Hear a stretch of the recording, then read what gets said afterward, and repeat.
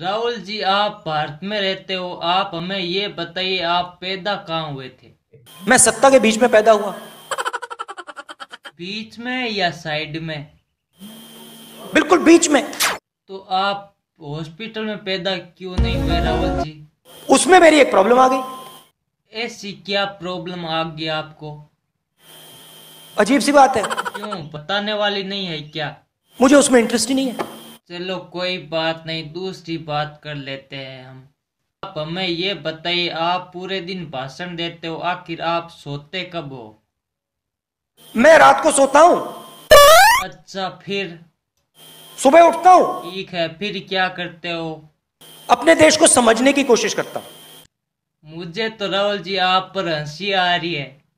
बिना कोई कारण। नहीं आप में ऐसा क्या है? क्या राहुल जी आप बताइए हमें। नहीं आप समझ नहीं सकते। चलो कोई बात नहीं मैं नहीं समझ सकता।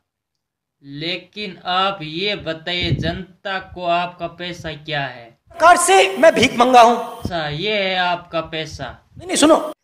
क्या सुनो राहुल जी मुझे तो आप पर तरस आ रहा है। क्यों? तो बताइए आपने इस देश को क्या दिया? कि मेरे देश ने पूरा का पूरा प्यार मुझे दे दिया।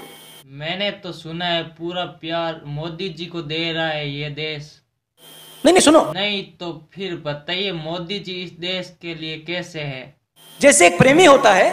तो बताइए आप हमारे लिए क्या है? आपके लिए मैं पप्पू हूँ। अच्छा राहुल जी अब आया नहीं थे लाइन पर। खत्म। Bye bye ta ta good bye गया।